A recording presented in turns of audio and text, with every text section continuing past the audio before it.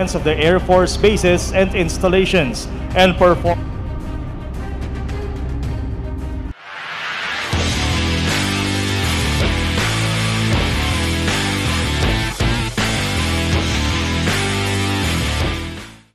Magandang araw mga kabayan at kadepensa. May ibabahagi na naman ako sa inyo, dahil ngayong araw na ito ay may pag-uusapan tayong tungkol sa ating depensa, mga bagong tangke at armas ng Pilipinas galing Israel ibinida, pero bago tayo magpatuloy wag mo muna kalimutan mag-like, share, and subscribe, paki-follow at like muna ng aming page na nasa description na ang link, sa ginanap na 88th founding anniversary ng Armed Forces of the Philippines sa Camp Aguinaldo, Colonel Joseph Carlo Porras, his staff, Majors Ramon Christopher Engay, Manilin Collado, Arvin Macalintal, and Elpidio Salinas.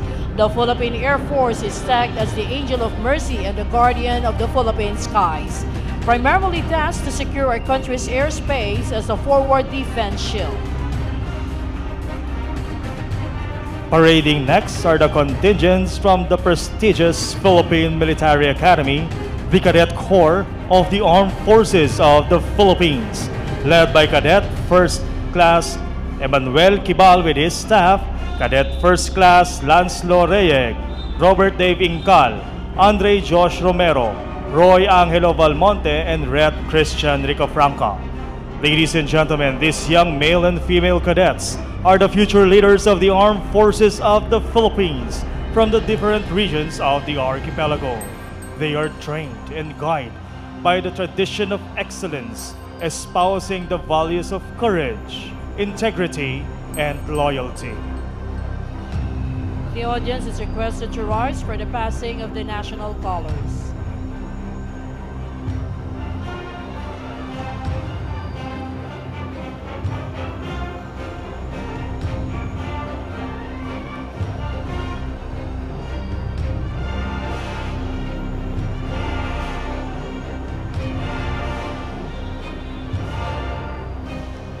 Thank you. Please be seated.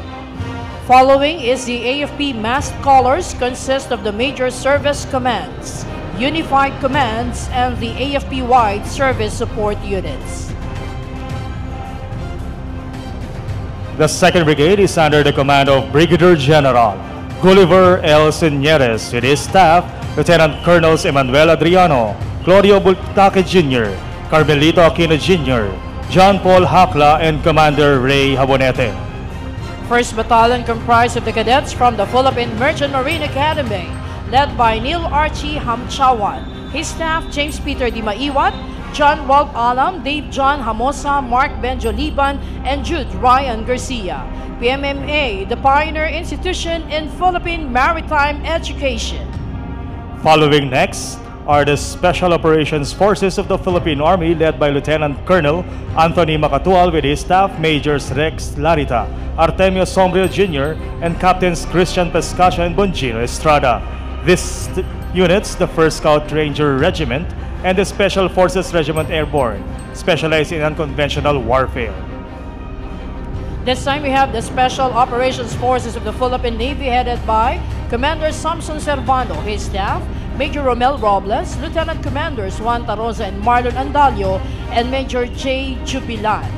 The contingent is comprised of the Naval Special Operations Command, Force Reconnaissance Group, and the Marine Battalion Landing Team, capable of conducting maritime special operations, counterterrorism, and other special operations. Next is the 710th Special Operations Wing of the Philippine Air Force, led by Lieutenant Colonel Joseph A. Domingo. With his staff, Major Mark Anthony Cuevas, Captains Edzar Belier, Gilbert Maramag, and Frederick Malacat Jr. The 710 conducts special operations for defense of the Air Force bases and installations and perform other contingency operations. We now have the motorized contingent, which showcases the assets being used in the internal security operations, territorial defense operations, and the anti-terrorism.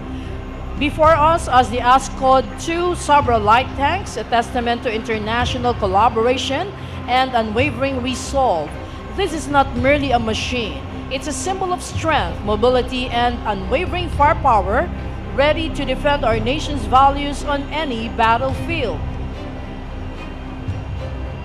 ASCOD 2 Sabrah Light tank boasts a versatile 7-wheeled chassis that conquers any terrains. Its rugged armor meeting the stringent NATO Stanag 4569 Level 4 ballistic protection standards shields its crew from even the most potent threats.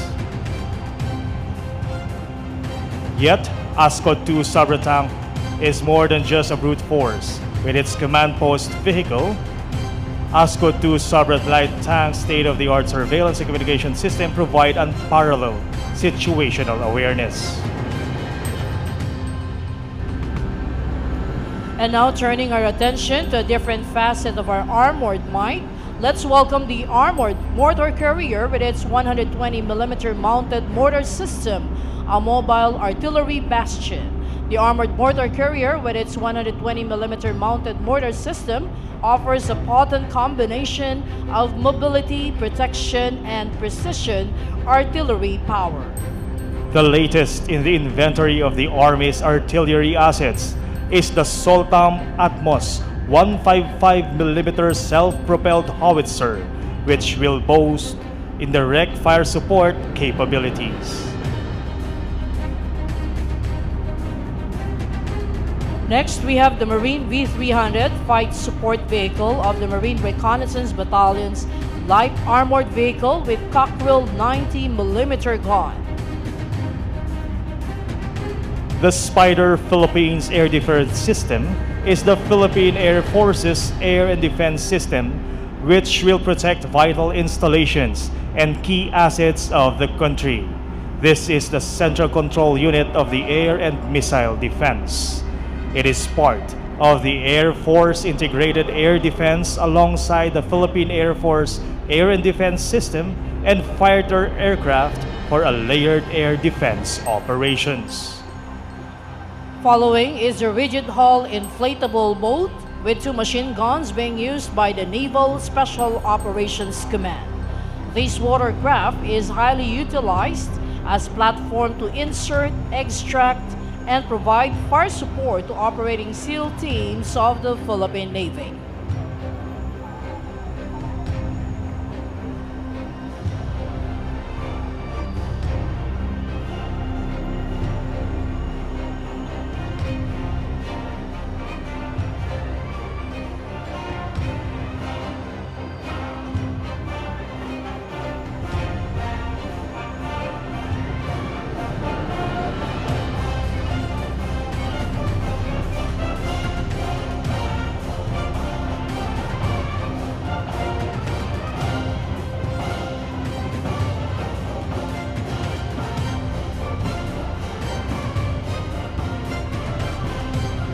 Ladies and gentlemen, you have just seen a segment of your armed forces of the Philippines pass before you.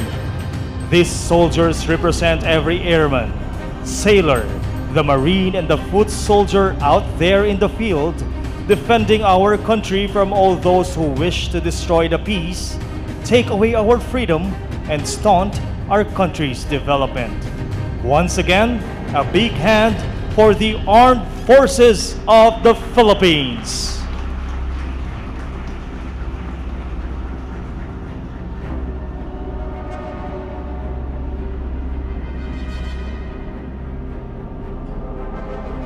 The PH is a supersonic lead and fighter aircraft.